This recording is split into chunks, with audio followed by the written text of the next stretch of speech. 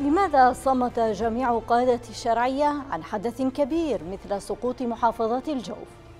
وماذا بعد حالة الاستلاب والتغييب التي تحيط بالشرعية اليوم؟ وما هو مصير باقي مناطق الشرعية في ظل استمرار هذه السياسة من قبلها ومن قبل التحالف؟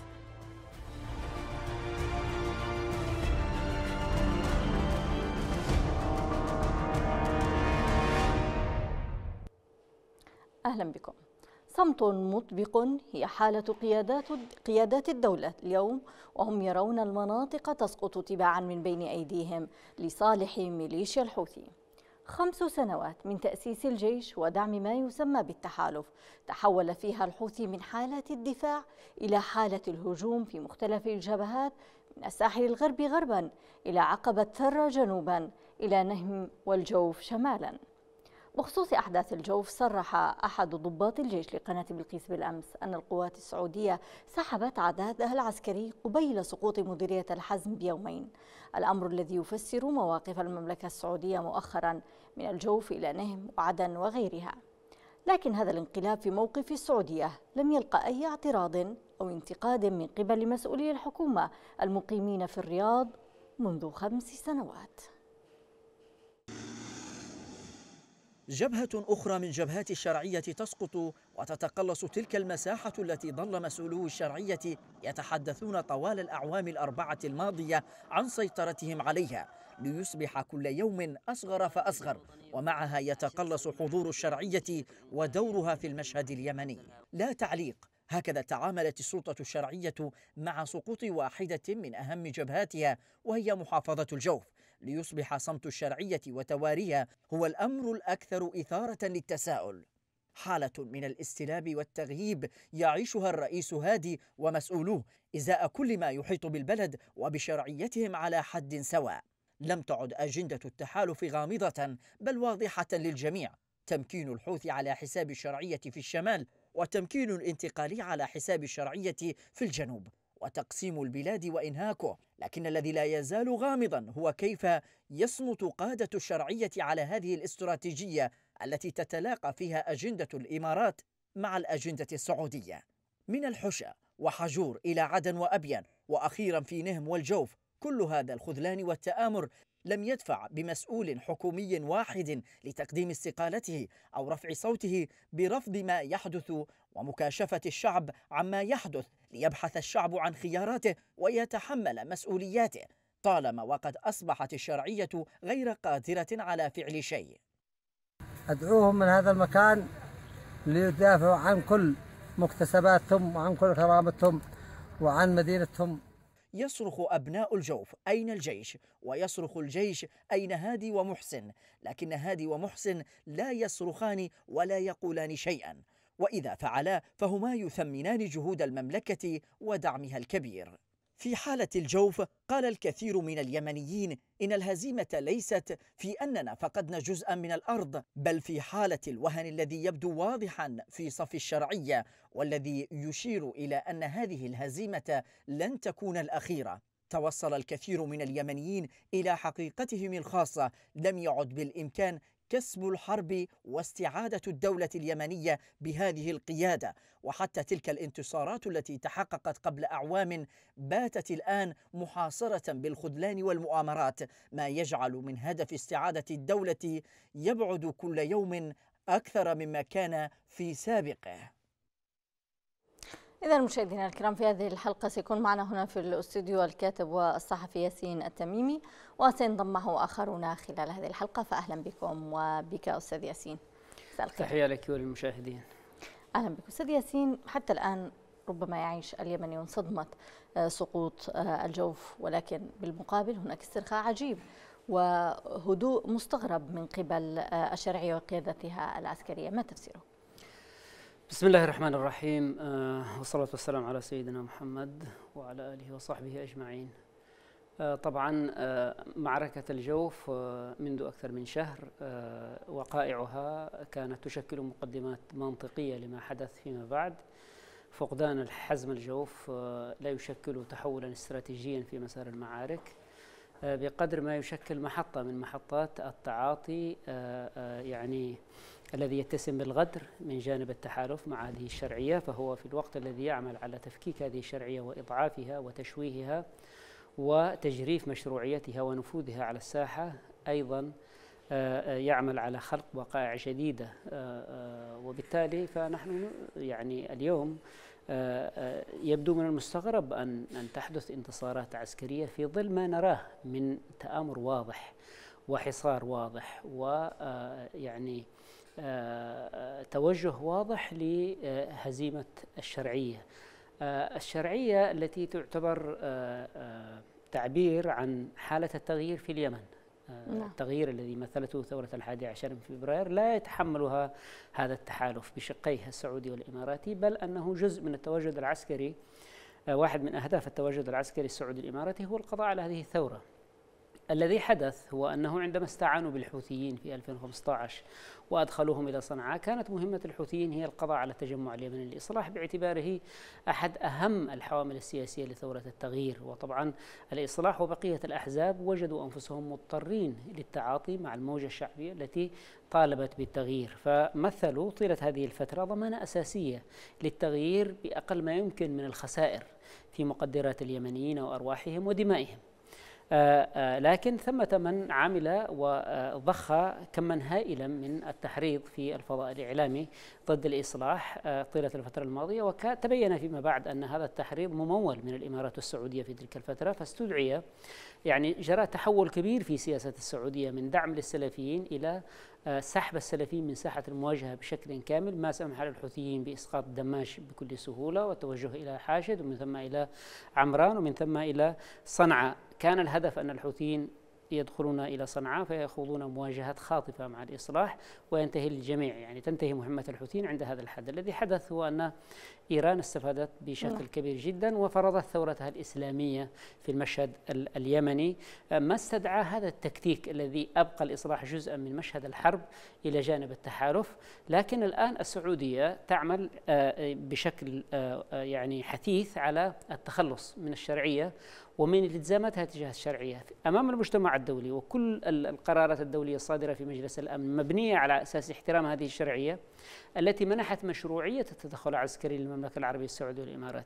هناك تمويل آه، يضخ الآن لتجريم هذه الشرعية حتى حتى يعني تنسحب حتى تتنصل السعودية تماما والإمارات من مسؤولياتهما تجاه هذه الشرعية. آه، آه، من من من من إعادة تثبيتها ودعمها في مواجهة الانقلابيين إلى القضاء عليها بشكل كامل.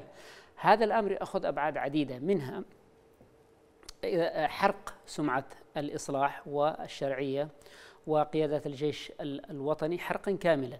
نعم. آه، عندما لم ينجحوا طيلة الفترة الماضية من خلال آه، الضخ الإعلامي والخطاب السياسي المعادي لأركان الشرعية ممثلة في الأحزاب وخصوصا الإصلاح طبعا بقية الأحزاب متمالئة. الأحزاب للأسف القومية واليسارية أصبحت آه، يعني تحولت من العداء مع القوى الرجعية إلى أدوات رخيصة بيد القوى الرجعية. آه، العداء واضح للإصلاح وللجيش الوطني. اعتقادا من السعودية والإمارات أن الجيش الوطني يتضمن أو أو أو يشمل فيما يشمل بين صفوفه آه، قيادات أو آه، مقاتلين من الإصلاح. فعملوا على حرق عبر الضخ الإعلامي والسياسي. فشلوا طيلة الفترة الماضية وجدوا أن الحوامل الثورة اليمنية والوحدة اليمنية والنظام الجمهوري متواجدون في الجبهات وصامدون ويحققون تقدم.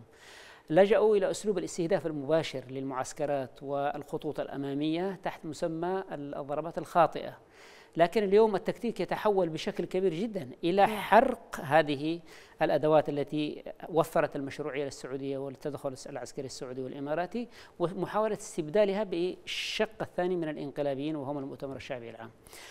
اليوم يحركون آه، محاولات ما يسمى بترميم الصف الجمهوري. نعم هذه محاولة ممتازة جدا آه، لكن لا نريدها أن تكون آه، ورقة سياسية أخرى بيد المملكة العربية السعودية والإمارات للوصول تستخدمها للوصول إلى تحقيق أهداف سياسية.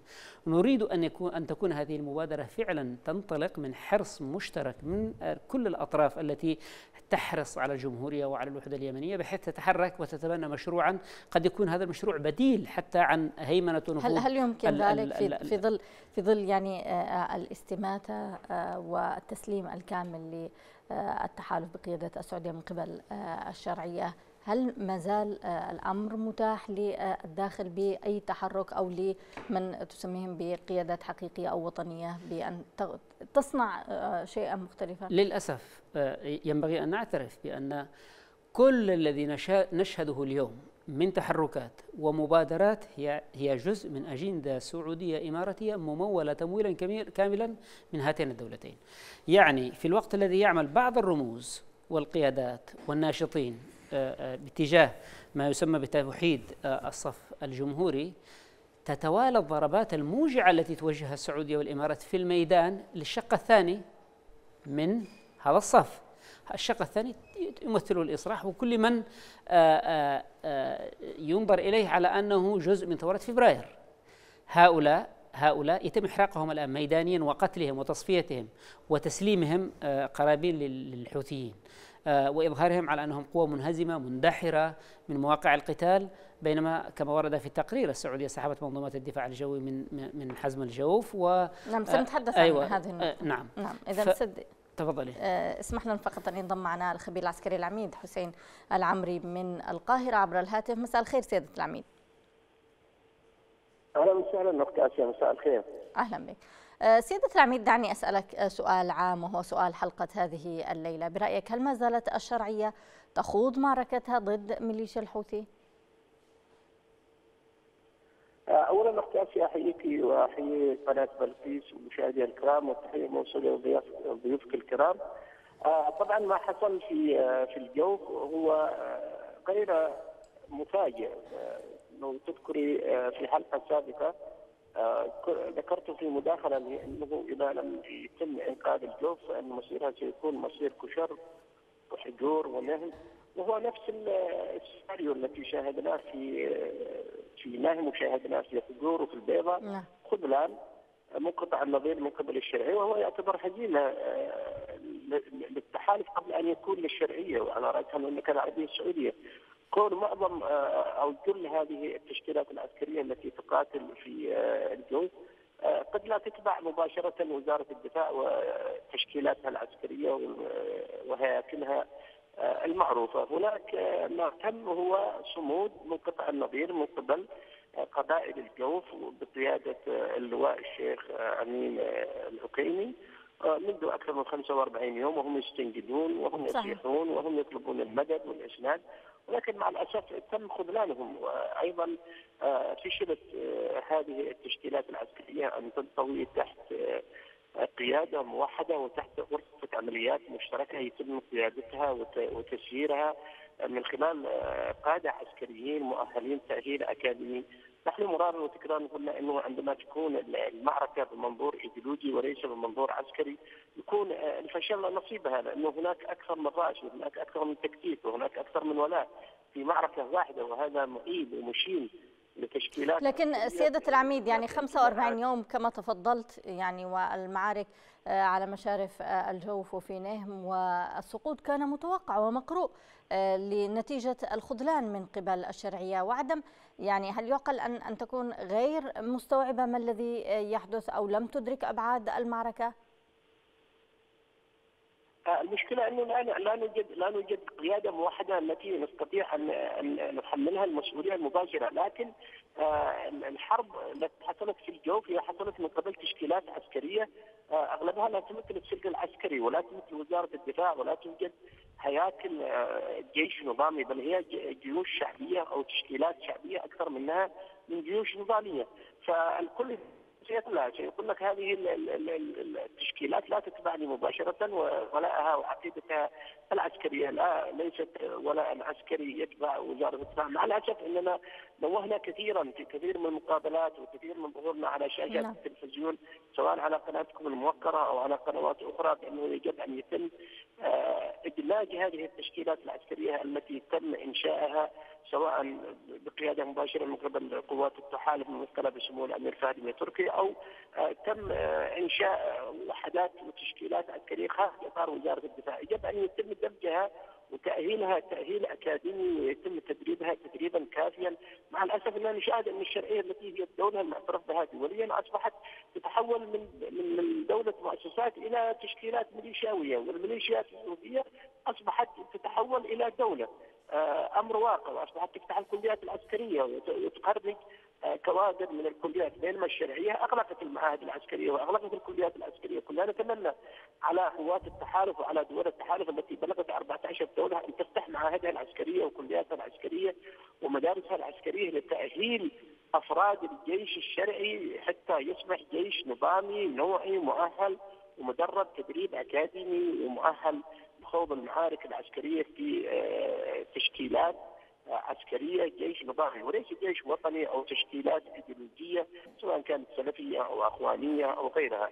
نعم، لكن مع الاسف إنه تم تشكيل آه، عدة آه، جيوش لدينا جيش في الجنوب تحت مسمى الأحزمة الأمنية والنخب الحضرمية والشبوانية وما إلى ذلك وهناك كتائب خاصة تتبع أبو العباس وتتبع أبو فلان وهناك جيش في الساحل الغربي تتبع جهة أخرى. فنحن نقول إن هذا الخلل الكبير في في في في, في الجيش الشرعية يجب أن يتداركوه وأن يتم احتواء هذه الجيوش وهذه التشكيلات. هناك تشكيلات والويه خارج إطار مؤسسة وزارة الدفاع في الحد الجنوبي تتبع مباشرة لقوة التحالف ممثله بسمو الامير فهد بن تركي مباشرة ولا لا لا تمر بأوامر من وزارة الدفاع ورئاسة هيئة الأركان ولا تندمج تحت هياكلها العسكرية المعترفة والمناطق والمحاور.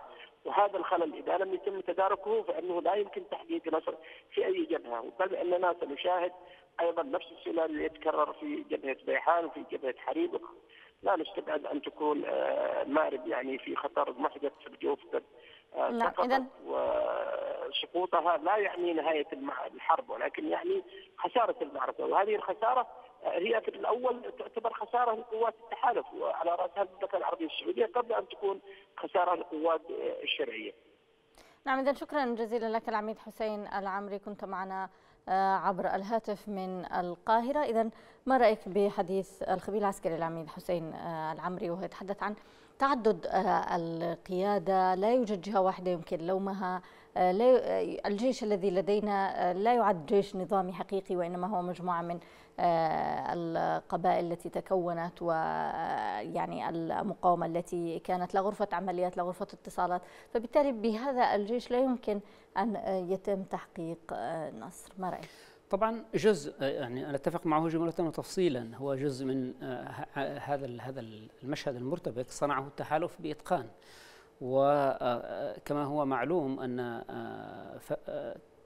فهد بن تركي اللي هو قائد القوات المشتركة والذي يشرف على العمليات العسكرية باسم التحالف على الساحة اليمنية هذا الرجل آه، آه، منذ البداية وهو آه، طبعا يتبنى موقفا عدائيا ومتوجسا من الجيش الوطني خصوصا في مارب وفي بقية المحافظات الشمالية تحديدا يعني حاول يعكس حالة عدم الثقة من جانب المملكة العربية السعودية والتحالف بهذا الجيش الذي يقاتل بشرف وكرامة وإخلاص من أجل أهداف وطنية خالصة ومن أجل المشروع الوطني. هو طبعا لا يريد المشروع الوطني ولا يريد شيء. ولهذا منذ اللحظة منذ اللحظة الأولى أول زيارة له إلى مارب بدأ آه، يتحدث عن الفساد ويتحدث عن محاولة بيع الذخيرة إلى آخره إلى آخره. وكان هذا جزء من مخطط آه، إرباك القيادة اليمنية ومحاولة السيطرة عليها.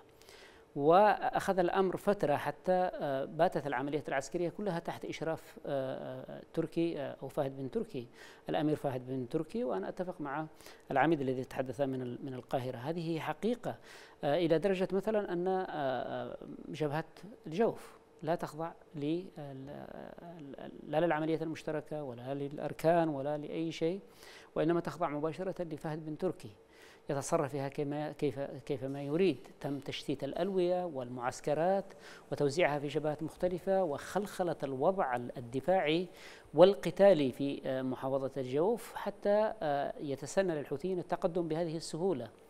وبدون آه، مقاومة ليس بدون مقاومة وإنما دون أن يبذلوا ذلك الجهد الكبير أو يقدموا الخسائر الكبيرة. بطبيعة الحال في الوقت الذي كل المنافذ مفتوحة أمام الحوثيين للحصول على أسلحة جديدة منها صاروخ مضاد للطيران الذي أسقط طائرة التورنادو ومثل ذلك الصف على المملكة العربية السعودية. وكنا نعتقد أن هذا التطور سيجعل السعودية آه، آه، تتحرك باتجاه مغاير. بمعنى أنها تعزز الجبهات وتقوي آه، وتيرة المواجهة مع الحوثيين لكنها تصرفت بشكل مختلف تماما وكأنها متفقة حتى مع الحوثيين على توفير هذه الذريعة التي تجعلها طبعا تخفف حتى من المظلة الجوية في العمليات القتالية. طبعا لو أن لدى الجيش الوطني القوة النارية الكافية لما احتاج للتغطية الجوية. في النهاية في نهاية المطاف هو يتكافأ مع الحوثيين لكن لو امتلك فارقا نوعيا فيما يتعلق بالكثافة النارية لأمكن إحداث التقدم والاختراق والوصول إلى صنعاء وقد كاد الجيش الوطني أن يصل إلى صنعاء ولكن هذا الأمير ومن يقف معه هم الذين يتحملون المسؤولية الكاملة عن الانتكاسة العسكرية في اليمن. نعم طبعا أضف إلى ذلك يعني ما ربما ما ذكر في التقرير وما ذكره ضيفنا بالأمس على قناة بلقيس بأن الأسلحة السعودية التي وجهت لها الأوامر بالانسحاب من الجوف آه، إلى الحدود السعودية. كل ذلك يعني آه، لم يعد يعطي مجالا للشك بما الذي تريده السعودية. طبعا الآن السعودية مخططها على ما يبدو هو الدفع بمواجهة عسكرية في مارب الكتلة السكانية الكبيرة في مارب ستقاوم لكن سيقف قوات التحالف ستقف إلى آه، آه، يعني ستكون شريكة في إيذاء آه، سكان مارب أنا أنصح السكان المدنيين بأن, لن بأن لا يبحثوا عن ملجأ آمن. أفضل ملجأ ممكن أن يذهبوا إليه هو معسكر التحالف بما فيه من أسلحة واستعدادات. فهذه الأسلحة إما تستخدم بما يتفق مع مهماتها كونها تقاتل في اليمن دفاعا عن الشرعية. وهذه هي المشروعية الوحيدة وهذه الذريعة الوحيدة التي تبرر لماذا هذه القوات موجودة. موجودة. فإما أن تستخدم هذه الأسلحة لتحقيق هذا الهدف وإما أن تذهب إلى الجحيم. هذه الأسلحة بمن فيها؟ بما في ذلك قوة التحالف. فالناس بدل أن يذهبوا إلى البحث عن ملاجئ أو لأن السعودية اليوم آه، تتصرف كالإمارات في الجنوب على سبيل المثال وحرصت على أن يكون الطريق غير آمن حتى الذي يريد أن يرغب في الذهاب إلى بلده مضطر أن يذهب إلى عبر شبوة ومنها إلى أبيان ومنها إلى عدن ومنها إلى آه، لاحش هناك كلاب حراسة آه، نصبتها الإمارات واليوم توفر السعودية الحماية الكاملة لها، يعني رأينا في عندما كانت الإمارات مسيطرة عسكريا في عدن كان هناك موجة تهجير للشماليين، هذه هذه العمليات تتكرر في ظل سيطرة القوات السعودية بمعنى أنه لا فرق بين محمد بن زايد ومحمد بن سلمان. كلاهما آه، سيئان للغاية وينظرون لليمنيين بازدراء. ويشجعون هذه الأعمال القذرة بطبيعة الحال ويعملون على تفكيك المجتمع اليمني وخلق خصومات تاريخية يمكن أن تتراكم حتى لا يستطيع اليمنيون أن يستجمعون قواهم. لكن أنا آه، إذا كانوا يعتقدون أنهم سينجحون في ذلك فهم آه، آه، غلطانين جدا لأن الضخ الهائل للأموال من جانب هاتين الدولتين من أجل تحقيق هذه الأهداف السيئة. أنا أعتقد أنه بمجرد توقف هذا الضغط هذا الضخ سيعود اليمنيون إلى رشدهم ويبحثون عن صيغة حياة مشتركة. واليمنيون أثبتوا ذلك خلال فترات تاريخية آه، آه، عديدة من من من, من تاريخهم. لأن هذا الضخ ضخ الأموال آه، للأسف يترافق مع سلوك جعل حتى أكثر الناس حماسا للتحالف من جانب الانفصاليين أو غيرهم. آه، وقد مرينا بهذا الطور في فترة من الفترات عندما اعتقدنا أن السعودية والإمارات جاءوا بالفعل لمساعدة اليمنيين على الخروج من مشكلتهم وعلى دحر الانقلاب. نحن وأمثالنا والذين آه، وهناك اليوم آه، انفصاليون كانوا متحمسون جدا للدور العسكري السعودي والإماراتي في الجنوب على سبيل المثال باتوا باتت لديهم يعني اعتقاد راسخ بات لديهم اعتقاد راسخ بأن هذا التحالف جاء ليحارب اليمنيين جميعا. الذي يرغب في الانفصال والذي يرغب في الوحدة جميعهم آه، وقود حرب وسيتحولون إلى وقود حرب. لهذا لن ينجح لا محمد بن, بن زايد ولا محمد بن سلمان في تحقيق أهداف تفكيك المجتمع اليمني. ثم أن هذه الكتلة السكانية الكبيرة اليمنية آه، من الذي يضمن لمحمد بن زايد أن تردد عليه؟ يعني حتى عندما عندما عندما تيأس هذه الكتلة السكانية الهائلة بالحياة لن يبقى لديهم من خيار سوى أن يتوجهوا إليك أنت وأنت هش للغاية السعودية بلد هش للغاية. الذي يستجدي اليوم آه، يعني آه، اليونان من أجل أن توفر له مظلة صاروخية. يعني هل هل هل اليونان أغنى من المملكة العربية السعودية على سبيل المثال؟ نعم. آه لكن المسألة هنا ليس لها علاقة لا بغنى ولا فقر بس تعبر عن مرحلة كيف جديدة كيف من العلاقة يعني الاستراتيجية المهترئه مع الولايات المتحدة الأمريكية التي ليس لديها استعداد اليوم لتأمين هذه المظلة. فالسعودية أنا أستغرب يعني السعودية اللي تحاصرها الميليشيات الشيعية من الشمال الشرقي آه، تعمل وتستثمر وتضخ أموال هائلة لتقوية فصيل آخر تابع لإيران عند حدها الجنوبي وتعمل كيف على تأمن على ذلك أستاذ؟ يعني آه. ياسين خاصة هناك من يقول بأن ما حدث في الجوف ونهم وغيرها وما سيحدث ربما هو اتفاق آه، سعودي آه، حوثي آه، أن تسلم شمال البلاد لهم. كيف تستطيع أن تأمن؟ ميليشيا جربتها أكثر من مرة لا عهود لها وأن أن تظل في حدها الجنوبي. الحوثيين ماكينة إيرانية صناعة إيرانية. بريطانيا عندما صنعت عندما آه، نصحت السعودية بأن آه، تنفتح على الحوثيين آه، في مقابل أن يفك الحوثيون الارتباط مع مع مع إيران، هذه نصيحة كارثية في حقيقة الأمر، لكن السعودية ما كانت بحاجة إلى نصيحة، السعودية هي طبعا فتحت قنوات الاتصال منذ وقت مبكر مع الحوثيين وهي تعتقد أن لها إرث في التعاون مع الحوثيين وأسلاف الحوثيين من الأئمة. وتعتقد أنه بالإمكان إعادة هذه آه، العلاقة. لكن هذا الأمر طوي طوي ودخل حيز النسيان الحوثيين الجدد والأئمة الجدد لديهم طموحات مختلفة ومرتبطين آليا بالمشروع الجيوسياسي والجيوستراتيجي الإيراني. شاءوا أم أبوا يعني في نهاية المطاف سيمثل الحوثيون إذا إذا ما بقيوا يعني واضعين اليد على هذه المساحة من الأراضي اليمنية. مصدر تهديد خطير جدا على المملكة العربية السعودية. وفي الواقع اليوم آه، آه، تتشكل لدى معظم اليمنيين قناعة بأنه لا داعي لمواصلة المعركة في مواجهة الحوثيين آه، إذا إذا بقي هذا التحالف هو القائد قائد هذه المعركة وهو الذي يوجه هذه المعركة وهو الذي يؤمن إمدادات هذه المعركة. لا حاجة لنا لهذه المعركة مطلقا. يفترض اليوم أن نفكر بمسار نضالي مستقل بشكل كامل يخلط الأوراق على جميع الأطراف السيئة التي تتحدث يتحكم بالقرار السياسي والعسكري. طبعا آه، اليوم الأنظار تتجه إلى أسوأ قيادة في التاريخ. أسوأ وأردى وأحط قيادة في التاريخ. اليمن يمر بمرحلة صعبة للغاية. هناك دماء تسفك نعم. وهناك كرامات تنتهك وهناك خيانات لشعب. خرج ذات يوم وصوت لهذا الرئيس ولهذا القائد. ومنحه فرصة تاريخية لكي يؤدي دورا تاريخيا في هذا الوطن وتصرف كإنسان يعني حاقد وموتور ومناطقي وهو اليوم يصمت عن هذا الذي يدور كله. حتى ما ما حتى القرارات يعني حتى بعض القرارات التي تبدو جيدة وتصدر عن الرئيس هادي هي تأتي في سياق الدفاع عن مصالحه التكتيكية نعم. الآنية. للأسف الشديد هذا القائد راقد إلى الآن راقد. هل تعلمي أنه لا يوجد خبر في وكالة الأنباء اليمنية سبأ في موقع وكالة الأنباء اليمنية سبأ عما حدث في الجوف؟ لماذا؟ لأن وكالة الأنباء اليمنية سبأ آه، آه، تعمل من من مبنى آه، يتبع وكالة الأنباء السعودية. وهذه الأخيرة هي التي تقرر ما الذي ينشر في هذه الوكالة. على سبيل المثال القرار قطع العلاقات مع قطر. لم يصغه أي محرر يمني. نعم. هذا فرض على وكالة الأنباء اليمنية نعم من الغرفة المجاورة. أستاذ ياسين. وهكذا يعني. نعم أن ينضم آه، معنا عبر الهاتف المحلل السياسي دكتور محمد آه، جميح. مساء الخير دكتور. أهلا وسهلا مساء النور.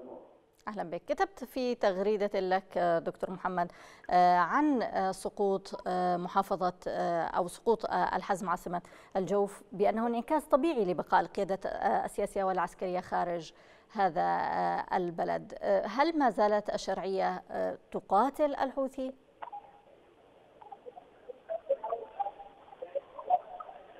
طبعا آه، نحن عندما نتحدث عن عن الشرعية نتحدث عن الجسم العسكري ونتحدث عن الجسم السياسي، الجسم السياسي نعم. في معظمه هو للاسف الشديد خارج البلاد، الجسم العسكري في معظمه لنكون منصفين داخل البلاد، لكن المهم أن رأس الجسمين بشكل آه، عام يتواجد خارج الحدود، رأس الجسم السياسي، رأس الجسم العسكري أو رؤوس هذين الجسمين وهذه هي الإشكالية وهذا ما يولد لدينا ما آه، يمكن نتواضع أو يتم التواضع عليه باسم آه، أزمة قيادة.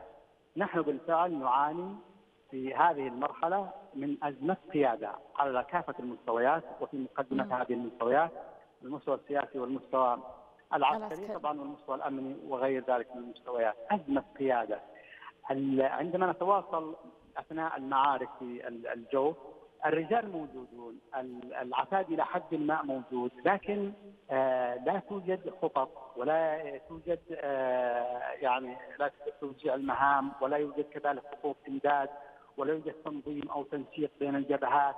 يعني تشتعل هذه الجبهة وتقف الجبهات الأخرى ثم تشتعل في مكان آخر وتنطفئ هذه الجبهة. هذا طبعا يشير إلى مرض جوهري في بنيه آه، الشرعيه اليمنيه هذا المرض هو آه، أزمة يمثل أزمة القيادة على المستويين السياسي والعسكري. نعم. بشكل بشكل آه، يعني بشكل محدد. لكن نأتي أيضا إلى مرض آخر. هذا المرض ملازم أو أو مشكلة أخرى ملازمة لأداء الشرعية. هذه المشكلة هي مشكلة الغموض. هناك أسئلة معلقة بلا أجوبة. لا توجد لها أجوبة. عندما يحصل آه، تراجع في مكان ما أو في موقع ما تترك المؤسسة العسكرية وقيادة المؤسسة تترك الناس للتخمينات والظنون. نعم يعني حتى اللحظة دكتور يعني لم نجد أي تعليق. لا سياسي ولا عسكري لما حدث في آه، الجوف. ما هو التبرير برأيك؟ أنا أقول أن هذا ليس خاصا بالجوف. يعني منذ سقوط عمران ومنذ تقدم الحوثيين في عمران إلى أن وصلوا إلى عدن والغموض هو سيد المرحلة، لم يخرج قائد عسكري واحد، لم يعقد مؤتمر صحفي واحد يشرح للناس، يشرح للناس ما الذي يجري. أحيانا الذي يجري ربما يكون أخف مما يتصور الناس، ويتصور الناس تصورات وشكوك وتزيدها الشائعات مما يحطم الروح المعنوية لدى الحاضنة الشعبية للجيش المقاومه ولدى المقاومين أنفسهم وربما لدى أفراد الجيش، لماذا؟ لأنه لم يخرج مسؤول أو آه، قائد عسكري أو مسؤول هنا وهناك ليشرح للناس ما الذي يجري. هذا الغموض آه، ربما يعود إلى أن الكثير من القيادات العسكرية ليست على اطلاع كامل وشامل بما يجري، ربما يعود إلى أن كثيرا من القيادات العسكرية ربما تعرف ما يجري لكنها لا تستطيع أو لا تجرؤ أن تتحدث، ونحن للاسف الشديد ليس لدينا معلومات كافية لنتكلم أو لنحلل أو لنواجه نعم. وإنما يترك الشائعات التي تنتشر والتي يضخها الحوثيون ويغطيها، اليوم آه، أختي الكريمة الحوثيون يضخون أخبار أن المسؤولين في مأرب وأن القبائل في مأرب تتفاوض بتسليم آه، مأرب سلما وعدم تعريضها للدمار كما حصل للجوف. وهذا ليس له أساس من الصحة لكن وجدت هذه الأخبار والشائعات مناخا ملائما في ظل صمت المستوى الرسمي الذي لم يتكلم عما جرى وانتشر. لكن أنا نعم. أقول بأن المعضلة الأساس لكل هذه المعضلات هو بقاء القيادة الشرعية خارج البلاد. أنا أعتقد أننا في كل آه، يعني انتكاسة تحصل آه، تتسلط الأضواء على هذه المعضلة وهي معضلة جوهرية وبنيوية في الشرعية اليمنية لا يمكن أن تحل.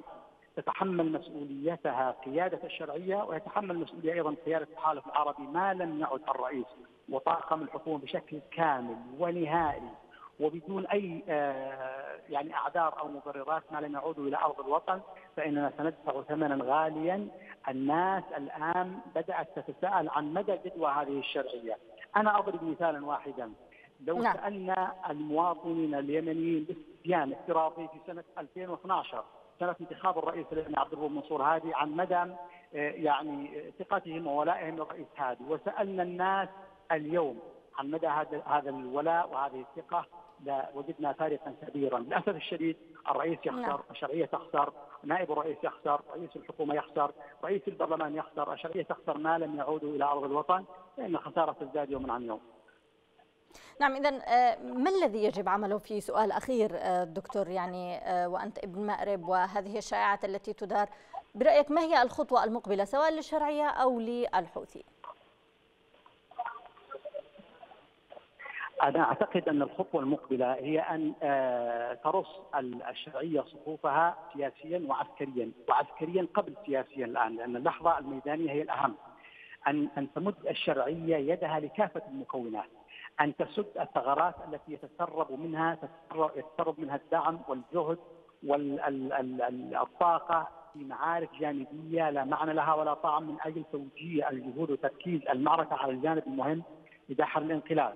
عليها أن آه، يعني أن أن أن تخلص النية أيضا وأن تخلص الإرادة وأن ترتقي إلى مستوى الجرح اليمني وأن تتمثل آه، قضية الثوار عشيه سبتمبر الذين تمثلوا مبادئهم وقيمهم الجمهورية وارتقوا إلى هذا المستوى، هذا ليس كلاما نظريا، هذا كلام نحتاجه، هذه ليست مثاليات، هذه المواطن اليمني على أرض الواقع والجندي والمقاتل والمقاوم يطرحونها اليوم لأنهم يحسون بمدى الحاجة إليها.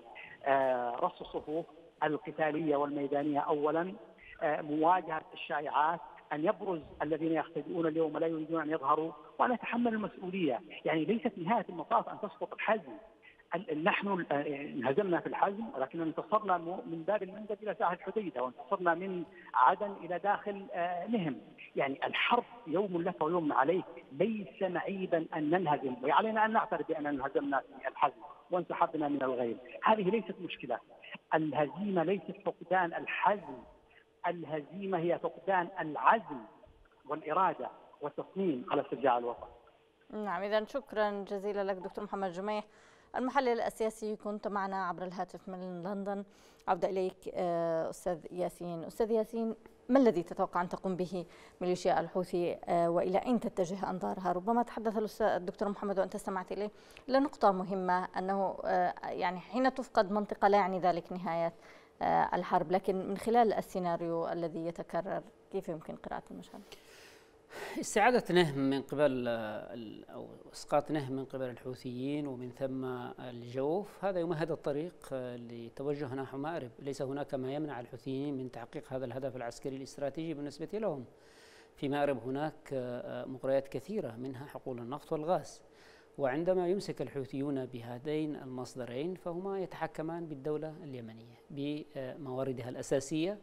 ومعظم ال ال يعني أبعادها الجغرافية الاستراتيجية. تقريبا إذا إذا وضعوا يدهم على هذه المناطق فوضعوا يدهم على اليمن بالكامل. بقية اليمن عبارة عن مناطق فراغ سكاني آه، لا قيمة لها وبالتالي آه، هذا يسمح لهم خوض جولة لاحقة لاستعادة اليمن بكامله لأنه لن يكون هناك أقوى طرف قادر على التغيير في البلاد سواهم لأنهم يمتلكون نعم. كتلة بشرية هائلة سيضعون اليد على هذه الكتلة البشرية الهائلة وعلى الموارد الهائلة التي توفرها هذه الكتلة البشرية الهائلة وعلى موارد النفط والغاز.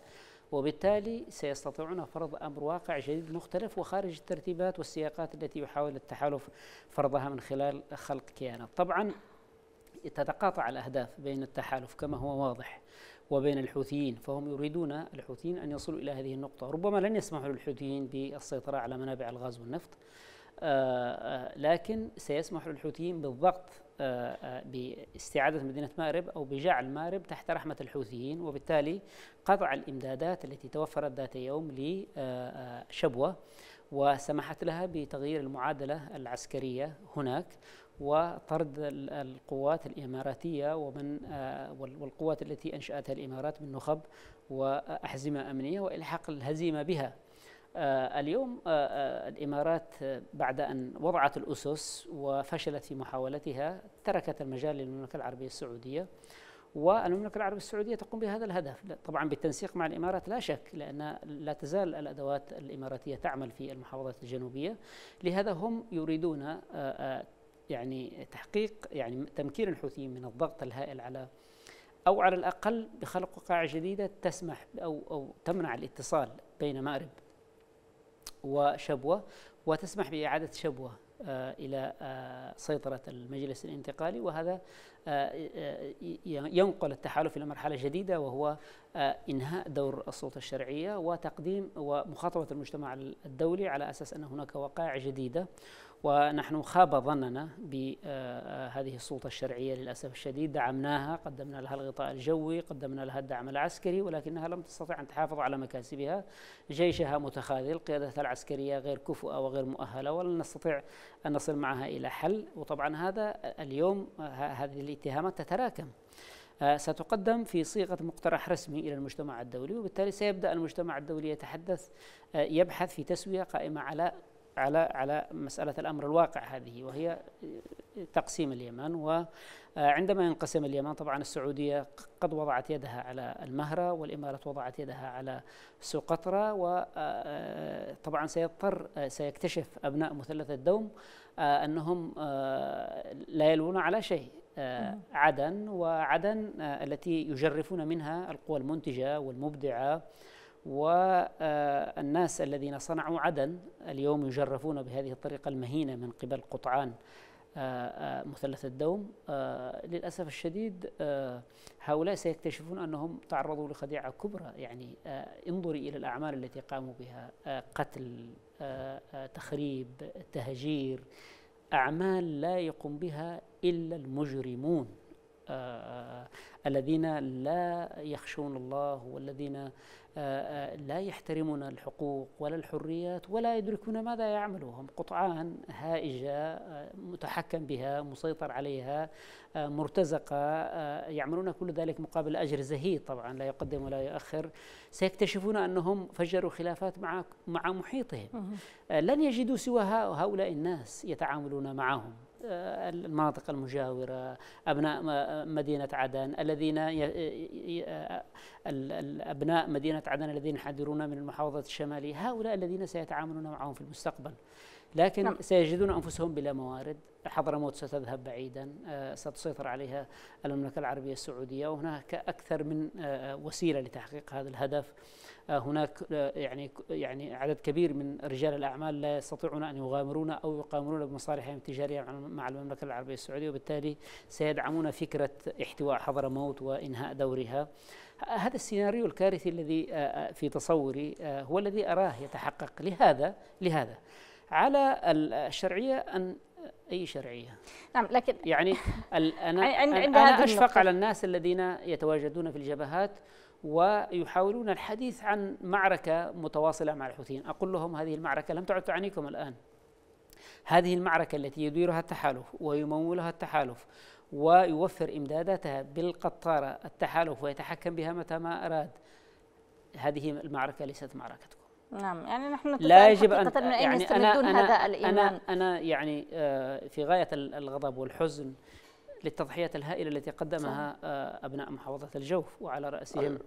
اللواء من العكيمي الذي ضحى بنجله وهو يقاتل وهو يعتقد فعلا أنه مسنود نعم. وأن معركته ستنتهي إلى النصر لكن لم يكن يعلم لا يعلم أو لا يعلم لا أدري وأنا في في الحقيقة هذه القيادات العسكرية لا ينبغي أن أن يحكمها الحماس فقط لا ينبغي أن تتسلح بالحماس فقط عليها أن تتحلى بالحكمة بالرؤية الصائبة باستشراف المستقبل نعم بإدراك الذي يدور يعني نحن حتى لا تقدم التضحيات هذه نعم. هباء منثورا أكثر من ثلاث سنوات ونحن آه، يعني ربما نتحدث عن آه، بعد كل سقوط لأي منطقة أو محافظة بعد تشكيل الحزام الأمني بعد العديد العديد من آه، الكوارث التي أتى بها التحالف نقول ما الذي يجب على الشريعة أن أن تفعل؟ عليها أن ترتب صفوفها أن تستعيد أوراقها أن أن أن يعني هل ما زال هذا الأمر مجديا الآن؟ عبد الرب منصور هذه لم يعد القائد الأعلى لم يعد يتصرف كرئيس. عبد الرب منصور هادي متآمر عبد الرب منصور هادي يتحمل المسؤولية السياسية والعسكرية والأخلاقية عن كل الكوارث التي تلحق باليمنيين في هذه المرحلة. عبد الرب منصور هادي انسحب في في أشد اللحظات آه، آه، حساسية وفي اللحظات التي احتاج فيها الشعب اليمني إلى ظهور عبد الرب منصور هادي ليقول شيئا.